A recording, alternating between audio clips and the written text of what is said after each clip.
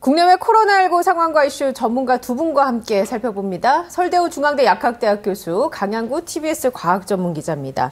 자, 오늘 목요일인데 신규 확진자 700명대로 다시 올라왔습니다, 교수님. 오늘 내용 어떻습니까? 예, 오늘 내용을 잠시 말씀드리겠습니다. 어제 이 방송에서 앵커께서 질문을 하셨죠. 어, 정부 당국자도 그런 얘기를 했는데요. 다소 좋아지는 거 아니냐 이런 얘기를 해서 제가 어제 바로 그런 얘기를 했습니다. 좋아지는 것처럼 보이지만은 곧 나빠질 거다. 그리고 어제 얘기하기를 내일, 그러니까 오늘이죠. 오늘은 좀 더 늘어날 것 같다. 이랬는데 저희 예상을 빗나가지 않고 더 늘어났습니다. 지난 보름 중에서 최대치를 찍었고요. 700명대로 회귀한 것은 지난 5일 만에 다시 처음입니다. 더 중요한 것은 사망자도 많이 나오고 어, 사망자가 많이 나왔던 거예요. 그런데 여태까지 제가 언급을 좀 못하고 있었던 것 중에 하나, 오늘 확실히 좀 알게 된 게 어떤 거냐면 이겁니다. 오늘 위중증 환자가 정확히 7명 줄면서 사망자가 정확히 7명 나왔습니다. 무엇을 강력히 시사하느냐 하면은 위중증 환자가 줄어든 그만큼이 바로 사망으로 직결되었을 가능성을 상당히 강력하게 시사한다. 이렇게 보고 있습니다. 당국은 위중증 환자 관리를 잘해서 사망으로 빠지는 일이 없도록 하는데 상당한 주의를 기울여야 될 것으로 생각이 됩니다. 지금 감염 경로를 모르는 게 많기 때문에 지금의 확산세를 막기 어려울 거다. 어제 말씀드렸는데 예, 지금 감염 경로를 모르는 게 너무 많습니다. 상당한 주의를 기울여야 될 것 같고요. 각종 지표가 여전히 좋지 않습니다. 그렇기 때문에 지금과 같이 백신 접종이 대규모로 일어나지 않은 상황에서는 계속적으로 이런 상황이 나빠질 가능성이 있기 때문에 더욱 신경을 써야 될 그런 구간에 있다. 이렇게 정리할 수 있겠습니다. 그 설 교수님께서 예. 특히 사망자에 주목을 해야 된다고 말씀하셨는데요. 이게 다시 한번 좀 강조를 해드리고 싶습니다. 왜냐하면 코로나19 같은 경우에는 60대 이상, 특히 70대, 80대가 감염이 되면은 이렇게 사망을 할 수가 있거든요. 그러니까 지난 1년 넘도록 이제 의료 계에서 코로나19 환자들이 대응하는 역량이 굉장히 강화가 되었음에도 불구하고 여전히 지금 하루에 다섯 명에서 여섯 명 일곱 명씩 사망자가 나오고 있습니다. 그러니까 만약에 백신을 접종하고 안, 백신을 접종하지 않으신 60대 특히 70대, 80대, 90대 어르신이 있다면은 자신도 모르게 바이러스에 감염이 되면은 자칫하면 사망에 이를 수도 있다라는 음. 것이거든요. 예. 그러니까 이렇게 하루에 뭐 적게는 3명, 4명, 많게는 7명, 8명씩 사망자가 나오는 상황을 보면은 왜 지금 60대 이상의 어르신들을 상대로 해서 백신 접종의 속도를 올려야 되는지 그리고 왜 자녀분들이 아버지 어머니 또 할아버지 할머니들께 적극적으로 백신 접종을 권유해야 되는지가 다시 한번 드러나는 대목이 아니라고 드러나는 대목이라고 생각합니다. 네, 확진자 수도 중요하지만 위중증 환자 수나 사망자 수도 우리가 늘 체크를 해봐야겠군요. 그리고 이 부분 앞으로 백신 접종이 늘어나면 늘어날수록 좀 떨어질 수도 있는 수치 아니겠습니까? 아, 이거는 적극적으로 떨어질 건데 아무튼 백신 접종하고 밀접한 예. 관계가 있고 특히 고령층 거기에다가 고위험군의 백신 접종은 굉장히 중요하고 이분들이 보호가 되어야 위중증으로 가는 비율 또 사망자의 비율이 급격히 떨어지면서 안정화 추세로 갈 수 있기 때문에 그런 점에서 본다고 하면 백신 접종이 굉장히 시급하기도 하고 굉장히 중요하고 또 지금 고령자분들 고위험군들이 먼저 백신 접종이 되어야 한다는 점 다시 강조드립니다. 아, 살짝 그 수치와 관련해서 이거 여쭤볼게요. 이 숫자가 만약에요, 이번 주에 잡히지 않고 이 정도 수준에서 유지가 되는데 다음 주에 또 석가탄신일이 있지 않습니까? 이런 상황에서 다음 주 주 후반에는 더 많은 확진자 수를 우리가, 우리가 맞이하게 될 수도 있을까요? 아, 그럴 가능성이 있습니다. 이제 5월 5일 날부터 보면 이런 거죠. 5월 5일 날 휴일 연휴로 인해서 잠시 착시 현상이 있어서 아, 확진자 수가 줄어드는 것처럼 보였는데 저희들이 계속 5월 5일부터 말씀드리기를 이번 주 수, 목, 금, 토를 주목해야 된다. 이렇게 말씀을 드렸거든요. 그러니까 아니나 다를까 수요일 날 어제 다시 늘, 다소 좀 늘었고 오늘 더 늘었거든요. 그런데 어제 강 기자님 말씀하신 것처럼 이번 주 토요일에는 더 상황이 나빠질 수 있다. 이렇게 예상을 하셨거든요. 저도 비슷한 상황입니다. 그러니까 이제 석가탄신일이 되면 석가탄신일이 다시 수요일이거든요. 그러니까 어린이날과 마찬가지로 다시 수요일입니다. 그러니까 수요일 날이니까 목요일 날은 좀 적게 나올 거고 금 토요일 날에도 어, 착시 현상이 있으니까 다소 적은 것처럼 보이다가 주말에 검사가 안 되니까 더 적어졌다가 착시 현상이 있으니까 적은 것처럼 보이다가 다음 주 수요일이 되면은 그것이 다 모여가지고 또 이번 주처럼 많이 나올 가능성이 있다는 거죠. 그러는데 더 주목해 봐야 되는 것은 뭐냐면은 감염 경로를 모르는 게 지금 거의 30에서 35%. 어제도 말씀드린 것처럼 거의 폭탄과 같은 것이거든요. 그렇기 때문에 이런 상황에서 본다고 하면은 다음 주 스카 탄신일 이후에도 상당히 주의를 기울이지 않으면은 더 늘어날 가능성이 있기 때문에 굉장히 조심해야 된다. 그 말씀 드립니다. 예, 거듭 말씀드리지만 주말이나 이럴 때 외출하실 때는 반드시 마스크 꼭 쓰시고 개인 방역 수칙 철저하게 지켜주시고 거리두기 꼭 챙겨주시기 바랍니다. 자, 어제 저희가 방송에서 이런 얘기를 교수님이 제안해 주셨어요. 백신 접종자 수에 따라서 거리두기가 재편이 돼야 한다. 그 로드맵을 정부가 제시해야 한다라는 말씀해 주셨는데 그 얘기가 끝나자마자 정부가 발표를 했습니다. 비슷한 뉘앙스의 발표를요. 자, 정부도 같은 생각인 것 같은데 어떻습니까? 예, 정부나 이제 저 같은 전문가가 총론은 거의 비슷할 거라고 생각이 됩니다. 그러는데 이제 강론, 구체적인 사항에서는 상당히 다르고 또 방역 당국이 제가 제안한 것과는 약간 결이 다른 그런 이제 얘기를 했는데 제가 오늘 좀 더 구체적으로 말씀드리고자 합니다. 자, 우리나라에 있어서 백신 접종은 6월 말까지, 즉 정부가 어, 예정하고 있는 1,300만 명에 해당되는 분들에게 접종하는 것이 제일 중요합니다. 여기에 소위 말해서 고위험군이 다 포함되어 있고 또 확진자와 접촉할 수 있어서 감염의 위험성이 있는 특수직 종사자들도 다 포함되어 있다. 이렇게 볼 수 있습니다. 그러니까 이분들이 백신 접종이 되면은 우리나라는 이제 일단은 한숨을 돌릴 수 있는 상황이 된다는 거죠. 그런데 이제 어제 정부 당국에서 얘기한 거는 이겁니다.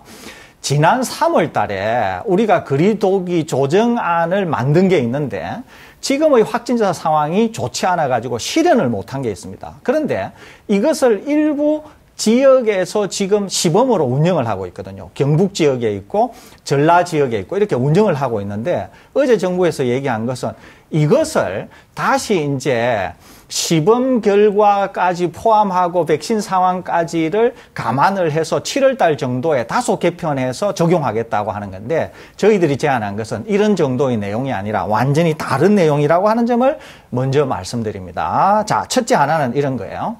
고위험군 접종이 끝나고 적어도 전 국민 대비 20에서 25%의 접종이 끝났을 때는 저희들이 제안하는 거는 이겁니다. 예컨대 그 상황에서 소상공인 자영업자가 운영하는 것은 시간 제한을 폐지하겠다든지 또는 영업시간을 뭐 12시까지 늘린다든지 또 가령 학교는 어떻게 하겠다든지 또 종교시설에 있어서의 대면 예배는 어떤 식으로 허용하겠다든지 또 실내 스포츠는 어떤 기준으로 하겠다든지 실외 스포츠는 어떻게 하겠다든지 또 고위험 산밀 조건을 가지고 있는 클럽이나 유흥주점에도 어떻게 적용하겠다든지 이런 겁니다.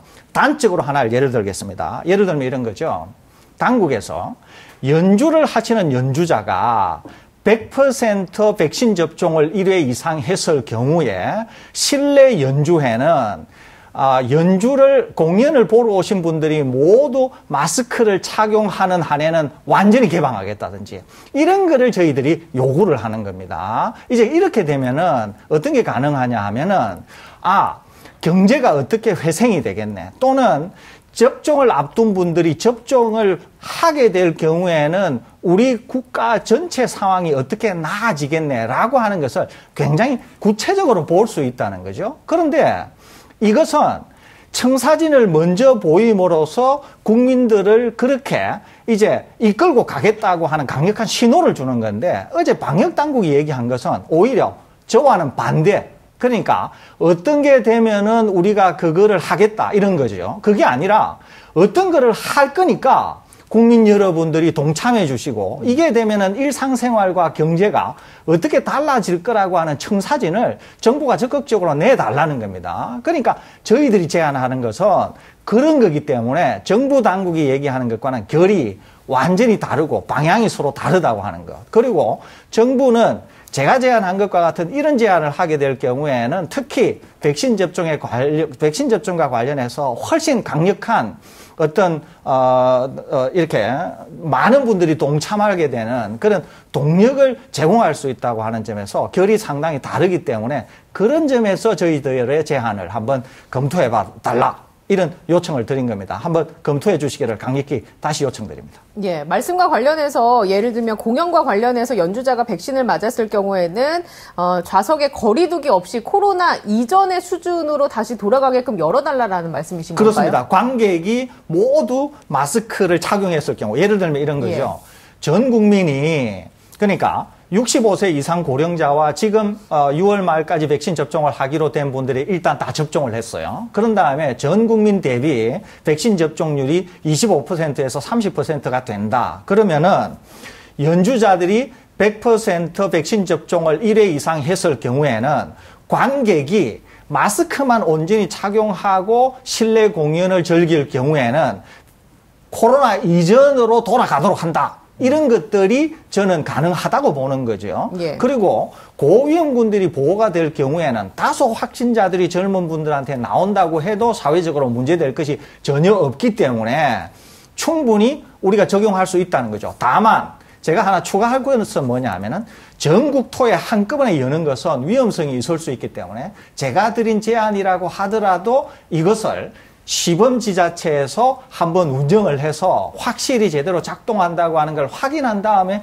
전국화하는 것은 필요하다는 생각을 갖고 있습니다. 또 하나는 제가 예전에 마스크 때도 제가 아, 식약처장을 굉장히 아, 이렇게 음, 음, 비난한 적이 있는데 그게 뭐냐 하면은 현장과 동떨어져 있고 굉장히 엄중한 시기에는 굉장히 창조적인 생각이 필요하다고 하는 것을 제가 여러 차례 말씀을 드렸는데 지금 방역 당국에도 제가 똑같은 말씀을 드리고자 합니다. 백신 이전의 상황과 백신이 지금 접종이 되고 있는 상황, 그리고 시시각각으로 변하는 상황에 있어서는 계속 현장이 바뀔 수밖에 없습니다. 그러면 이제 저한테 이런 질문을 할 수 있어요.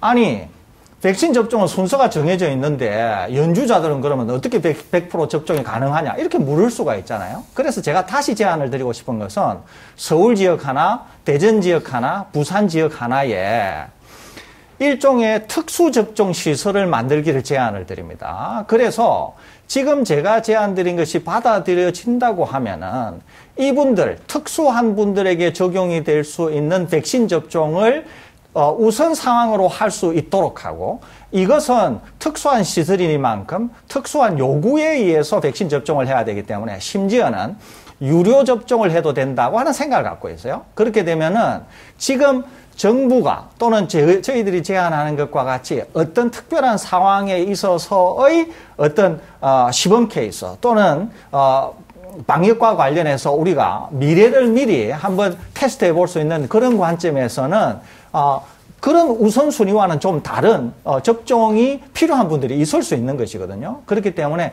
이런 것들도 한번 동시에 검토해 주시면 어떤가 이런 생각마저도 갖고 있습니다. 근데 저는 그렇습니다. 궁금증이 그럼 스포츠 경기는 어떻습니까? 왜냐하면 스포츠 경기는 또 안에서 취식이 또 가능할 수 있거든요. 마찬가지입니다. 예. 그러니까 스포츠 경기도 이제 실내 스포츠가 있을 수 있고요. 실외 스포츠가 있을 수 있거든요. 그러니까 실외 스포츠는 좀더 어, 제한 조건을 완화할 수 있겠죠. 그 다음에 실내 스포츠인 경우에도 아까 말씀 말씀드린 것처럼 그런 조건이 되면은 실내 스포츠를 하는데 모든 관객이 마스크를 착용하고 모든 운동선수가 100% 접종을 다 맞고 그러면 이제 운동선수는 이제 순서가 아닐 수 있으니까 아까 제가 말씀드린 것처럼 특수 접종 시설에서 다 백신 접종을 해야 된다는 거죠. 이렇게 될 경우에는 예. 관객들이 마스크만 다 착용하고 취식을 안 한다고 하는 전제하에서 코로나 이전 사태로 완전히 돌아가는 것도 저는 가능하다고 본다는 거죠. 그러니까 이런 것들은 어제 제안드린 것처럼 다소의 연구가 필요하고 외국 사례도 참조할 필요가 있습니다.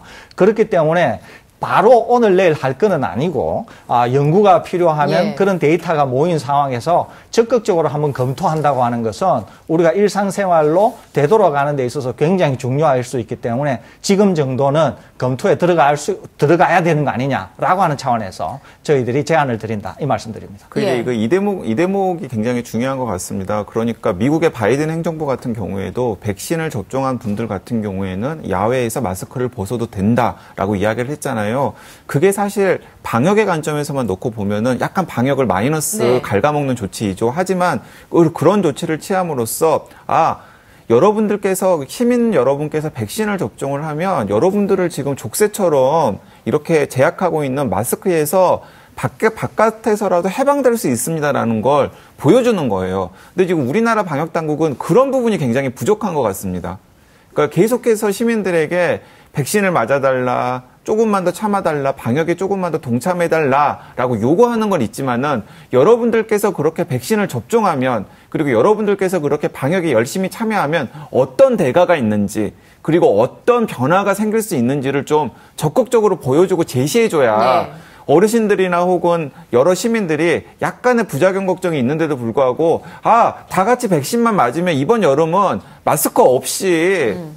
살 수도 있겠구나라는 희망을 가지고 적극 동참할 여지가 생긴다라는 것입니다. 아, 제가 예. 말씀드리는 기본 철학이 이제 강양구 기자님이 말씀하신 저거거든요. 그러니까 정부는 적극적인 청사진, 적극적인 어떤 대응책을 내놓음으로써 참여자들이 참여할 수 있는 동기를 부여할 수 있을 뿐만 아니라요. 또 하나 굉장히 중요한 것은 자영업자나 소상공인들에게 상당히 희망을 준다는 거예요. 아, 이렇게 되면은 이제 우리 사회가 어떻게 되겠구나. 또 하나는 제가 학교 말씀드렸잖아요. 학교도 이제 어, 유치원, 초등학교, 중학교, 고등학교, 대학교가 다 같을 수는 없는데 백신 접종이 일어나면은 이 사회가 어떻게 변하기 때문에 향후에 학교는 어떻게 되겠다 이런 것을 생각해 볼수 음. 있다는 거죠. 그렇기 때문에 당국은 계속 백신 접종을 하고 나서 그게 되면은 우리가 어떻게 될게라고 얘기할 게 아니라 백신 접종을 이렇게 하게 되면 사회가 이렇게 변하니까 그런 사회를 만들기 위하여서 백신 접종을 우리 당국도 이렇게 할 테니까 국민들께서도 동참해 주십시오. 그러면은 우리의 일상생활이나 네. 우리의 경제 활동이나 우리의 소상공인이나 우리의 학교들은 이렇게 변할 수 있습니다. 이거를 적극적으로 얘기해 달라는 거죠. 그러니까 저희가 이 말씀드리는 것과 방역 당국이 얘기하고 있는 것은 방향성 또는 방향성에 있어서는 완전히 반대, 결도 결에 있어서도 상당히 다르다고 하는 점. 그런 점에서 저희들이 이 대책, 이 제안을 촉구드린다고 하는 점 한번 깊이 아, 고려해 주시기를 다시 요청드립니다. 네, 교수님이 주장하는 메시지는 어떤 메시지인지 제가 충분히 알겠는데요. 근데 이런 질문을 또 드릴 수밖에 없습니다. 뭐냐 하면 각기 업종에 따라 상황이 다 다르고 기준이라는 것도 예를 들어 특수 접종 시설 같은 경우에 과연 그러면 그 특수 접종의 기준은 무엇인지 이런 것에 대한 혼, 혼선이 또 올 수밖에 없거든요. 어떻게 보십니까? 그러니까 그 과정에서는 예. 이제 사회적 합의 같은 게 필요해 보입니다. 근데 예를 들어서 뭐 미국이라던가 뭐 이런 나라에서는 이제 풋볼이나 야구가 그 사회에서 상징하는 상징성이라는 게 있잖아요. 그러니까 미국인이라면 모두가 다 현장에 가서 풋볼 경기를 보고 싶어 한다거나 야구 경기를 보고 싶어 하잖아요. 그러면 백신 접종률이 어느 정도가 되면 백신 접종을 1회 이상 접종한 사람들에 대해서는 풋볼 경기장이나 혹은 야구 경기장을 자유롭게 출입할 수 있고 예. 심지어는 마스크를 착용한다라는 전제하에서 때로는 마스크 없이도 응원이 가능하다라는 걸 허용을 해주면은 어, 그게 그 사회에 미치는 이미지가 굉장히 클 수 있다라는 것입니다. 예. 이제 우리 사회 같은 경우에도 우리 사회에 어떤 그 중요한 맥락들이 있을 것 같습니다. 예를 들어서 어르신들 같은 경우에는 성당이라든가 교회라든가 사찰 같은 종교 시설에 가서 직접 예배라든가 미사를 드리고 싶어 하는 욕구를 지금 1년 넘게 참고 계셨던 분들이 많으실 것 같거든요. 그러면 최소한 백신 접종을 1회 이상 하신 어르신들 같은 경우에는 대면 예배를 전면 허용하겠다. 음. 그래서 자유롭게 종교 활동을 할수 예. 있다라고 제시를 하신다던가 아니면은 좀 더 나아가서 그 설 교수님께서 아까 말씀하신 것처럼 상징성 있는 뭐 BTS 콘서트라든지 예. 뭐 아니면 우리나라 사람들이 꼭 뭐 아이유 콘서트라든지 아니면 야구 경기라든지 아니면 축구 경기라든지 이런 데 가서 마음대로 어깨를 걸고 응원을 네. 할수 있는 모습이 백신을 접종하면 가능해진다. 이런 것들을 좀 적극적으로 이제 보여달라는 아이디어입니다. 어, 제가 하나 더 추가하고 싶은데요. 지금 이제 우리가 이번 어, 여름 방학이 되면은 고3을 접종하려고 합니다. 왜 고3을 접종하려고 하는가 하는 게 대단히 중요하다는 거죠. 고3을 접종하게 되는 것은 우선 아, 이 연령대에 있는 고3이 수능이라고 하는 인생에 있어서 일제, 일, 일생일대의 중요한 것에 대한 어떤 차별 없이 공정하게 될 수 있다고 하는 기회를 제공한다는 게 하나 있고요. 두 번째는 자, 이 고3이 백신 접종이 되었을 때의 결과가 뭐냐라고 하는 거예요. 이 고3이 백신이 접종이 되었을 경우에는 적어도 고3은 대면 수업이 가능할 수 있다고 하는 것을 단적으로 얘기한다는 거죠. 그러니까 마찬가지라는 거예요. 지금 저희들이 얘기하고 있는 것도 백신 접종이 일정 수준 이상이 되게 될 경우에는 마치 고3 학생들이 다 백신 접종을 해서 대면 수업이 되는 것처럼 정부가 국민들이 이렇게 백신 접종에 임해 주셔서 이런 비율이 되고 이런 상황이 되면 우리가 이렇게 이 나라를 이렇게 되도록 할 겁니다. 이게 필요하다는 거죠. 그래야만이 무언가 백신 접종에 대한 동력, 그 다음에 백신 접종을 했을 때의 미래 사회에 대한 변화, 이런 걸 우리가 알 수 있기 때문에 우리가 희망을 가질 수 있다. 예. 그런 점에서 필요하다. 이런 말씀드립니다. 자, 요약하겠습니다. 그렇다면 이제 총론은 방역 당국이 접종률이 높아지면 이렇게 사회가 변할 수 있다라는 로드맵을 제시를 하고 이제 강론은 좀 사회적 합의나 여러 가지 여론 수렴을 거쳐서 우리가 충분히 정교한 연구를 통해서 내놓을 필요가 있다. 그렇습니다. 예, 이렇게 요약을 하도록 하겠습니다. 자, 이번에는 코로나19 해외 상황 한번 살펴보겠습니다. 프랑스에 계신 분을 한번 연결해 보려고 하는데, 최근에 확진자가 줄어드는 추세라고 합니다. 자, 어떤지 한번 들어보죠. 안녕하십니까? 네, 안녕하십니까? 네, 지금 프랑스 현재 확진자가 얼마나 나오고 있습니까? 음, 현재 확진자는 어, 2만 명 수준에 조금 내려와서 1만 9천 명 정도 수준까지 내려왔습니다. 이게 하루 확진자가 가장 많이 나왔을 때는 대략 몇 명 정도 나왔었죠, 프랑스가? 4월 중순에 한 4만 명대를 기록했었습니다. 아, 그럼 이제 절반 이상이 줄어든 거군요. 네, 그렇습니다. 예, 지금 현재 백신은 접종하셨는지요? 어, 저는 아직은 받지는 않은 상태고요. 예. 현재는 50대 이상 연령대가 아, 접종을 진행 중에 있습니다. 6월부터는 제가 듣기로 모든 성인으로 백신 접종 대상이 확대가 된다고 하던데 지금 현재 백신 접종 상황은 어떻습니까? 프랑스는? 네, 맞습니다. 6월 10일, 그러니까 5월 12일부터요. 그러니까 어제네요. 어, 남는 백신에 한해서 예약을 하면 누구나 맞을 수 있는 상태가 지금 됐고요. 어, 6월부터는 이제 모든 성인에 대해서 접종을 확대하는 상, 어, 확대하는 할 예정인데 그 현재는 한 1차 접종을 전 국민의 한 27%, 1,800명 정도 수준을 맞은 걸로 통계가 잡히고 어, 되고 있습니다. 예. 예, 저기 프랑스가 어, 초기 백신 접종과 관련해서 이제 논란이 되게 많았습니다. 아스트라제네카 백신 부작용에 대한 우려도 네. 있고 이래가지고 백신 접종을 하다가 말다가 뭐 이렇게 되고 또 이제 우려가 많으니까 많은 분들이 백신 접종을 기피하고 이런 일들이 꽤 있었거든요. 그래서 초기에는 네. 백신 접종 비율이 굉장히 낮았었는데 지금은 네. 이제 국민들이 이 백신 접종에 대한 어, 이상 반응 우려, 어, 부작용 우려 이런 거는 어떤지 모르겠습니다.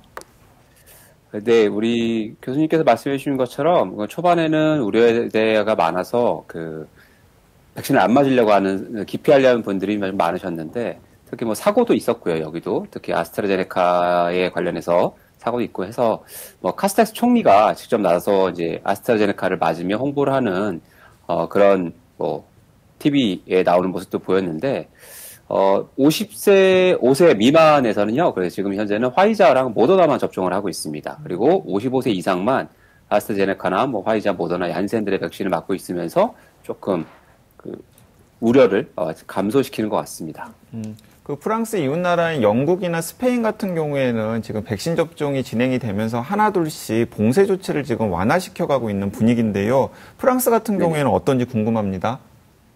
네, 프랑스도 현재 이제 그 4단계로 낮춰서 어, 봉쇄 조치를 어, 이, 완화하겠다라고 했거든요. 그래서 지난 그 4월 말일 날 어, 마크롱 대통령이 그 담화를 통해서 얘기를 했는데 일단은 1단계로 5월 3일부터 학교가 다시 문을 열었습니다. 그리고 어, 지역 간의 이동을 할 수가 없었는데 요 금지가 해제되었고요. 다음 주 19일부터는 어, 드디어 한 6개월 만에 루브르 박물관이라든지 영화관이라든지 이런 방역 수칙을 조건 지키는 조건 하에 6개월 만에 문을 열고 뭐 식당, 카페도 어, 실내는 안 되고 이제 테라스에서만 영업이 가능해질 것 같습니다. 그러면 어, 여름 휴가는 3단계는 예. 6월 9일로 어, 야간 통행이 11시까지 늘고 뭐 레스토랑도 다시 열고요. 어, 해외 여행객을 보건 패스를 사용하는 해외 여행객을 수용할 계획이고 마지막 4단계가 6월 30일 날 야간 통행 금지가 전면 해제되고 뭐 천명 이상의 실내 공연 활동이 재개되고 하지만 이제 클럽은 폐쇄하고 이런 단계로 현재 어, 예정되어 있습니다. 그렇다면 이제 이렇게 단계가 점차적으로 완화가 되면 여름 휴가는 제약 없이 이동할 수 있는 건가요? 예, 현재 이제 수준에서 저 확진자가 늘지 않고 계속 백신의 그 접종률이 올라가고 한다면 여름 휴가를 어, 갈 수 있지 않을까라고 하는 기대를 그리고 최종 목표는 이제 어, 크리스마스가 이제 유럽에서는 가장 큰 가족 행사이기 때문에 작년과는 다르게 모든 가족이 크리스마스를 함께 보내자라고 하는 이런 목표를 또 좀 가지고 있는 것 같습니다. 네네. 그리고 이제 백신 맞았다는 걸 증명하는 보건 증명서가 이제는 쓰인다고 하던데 이게 어떤 시스템입니까? 네. 어, 초창기에는 이제 종이에 QR코드가 아, 인쇄된 종이 증명서를 받았습니다.